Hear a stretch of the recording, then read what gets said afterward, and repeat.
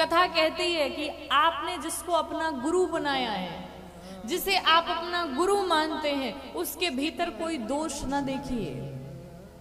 वो चाहे भले अनपढ़ हो, उसे कुछ नहीं आता हो, लेकिन फिर भी आपकी निष्ठा, आपका विश्वास ही आपकी मनोकामनाओं की पूर्ति कराएगा।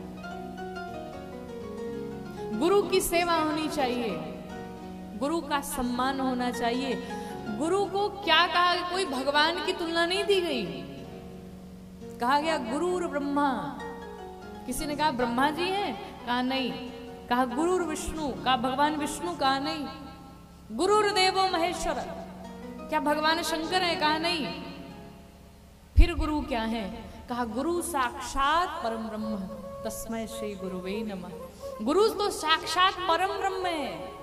ब्रह्मा, विष्णु, महेश इन तीनों से ऊपर हैं।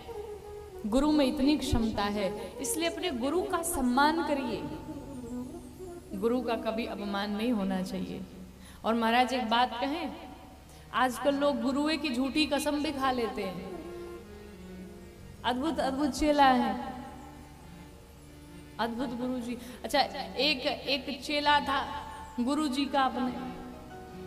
तो उसने अपने दुकान में गुरु जी की फ़ोटो लगा रखी थी। तो उसके एक मित्र ने पूछा, कहा, भाई, ये बताओ गुरु जी की फ़ोटो मंदिर में होनी चाहिए, घर में होनी चाहिए? ये बताओ, तुम दुकान में क्यों लगा रखे हो? उसने कहा बताओ कहा बताओ। कहा, जब ग्राहक आते हैं ना तो सौ की किताब रहती है तो मैं डेढ़ सौ बोलता हूँ तो ग्राहक मानते नहीं हमारी बात को। और मैं थक गया हूँ। और झूठ तो बोलना ही पड़ता है अगर दुकान चलानी है तो। कहा फिर, कहा इसलिए मैंने गुरु जी की फ़ोटो लगा रखी है। कहा इससे क्या लाभ होगा? कहा अब कोई ग्राहक आता है और जैसे ही कहता है कि तुम झूठ बोल रहे हो, मैं तुरंत जाता हूँ गुरु जी की फ़ोटो छू के कह देता हूँ गुरु जी की कसम खा के कह रहा हूँ, झूठ नहीं बोल रहा हूँ। तो ऐसे ऐसे तुम्हारा चेला लोग पड़े हुए लेकिन हाथ जोड़ करके निवेदन है भूल से जीवन में किसी की कसम खा लीजिएगा।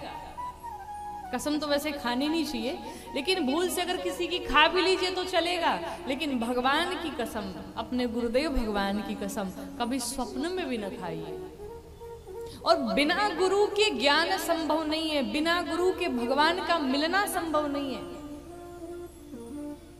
इस आत्मा से परमात्मा का मिलन जब तक इस आत्मा और परमात्मा के मध्य में एक महात्मा नहीं आ जाता, तब तक गुरु का मिलना, भगवान का मिलना संभव नहीं है।